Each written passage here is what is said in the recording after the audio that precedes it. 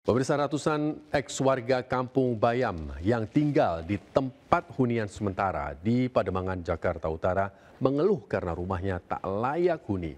Selain fasilitas air bersih yang tidak ada, anak-anaknya juga tidak sekolah karena masih trauma.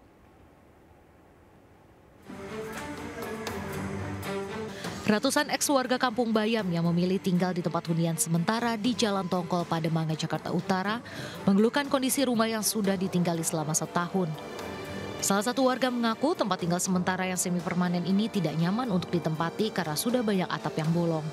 Fasilitas air bersih dari air tanah tidak bisa digunakan untuk minum dan masak, sehingga warga terpaksa membeli air bersih untuk keperluan konsumsi. Selain itu juga belum ada listrik, sehingga warga sulit melakukan aktivitas lainnya. Kondisi ini membuat anak-anak mereka tidak masuk sekolah karena masih trauma dengan kejadian sebelumnya. Ya keadaannya udah udah nggak bagus sih, kayak rumah-rumah juga udah banyak yang rusak, listrik pun mati, air pun nggak ada gitu. Kalau untuk anak-anak pasti trauma ya bang ya, karena kejadian kemarin itu sampai malamnya pada demam. Anak sekolah apa gimana Bu? Eh, anak-anak sih untuk hari ini kayaknya pada nggak sekolah karena mungkin kecapean juga sih.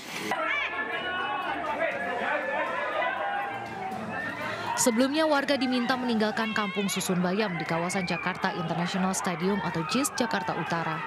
Terjadi cekcok dan saling dorong. Sejumlah warga nekat bertahan menolak direlokasi ke Rusun Nagrak. Warga berharap pihak Jakpro yang memindahkan paksa mereka dari Rusun memberikan tempat tinggal yang layak dan tak jauh dari tempat tinggal semula. Dari Jakarta, Sofian Firdaus melaporkan.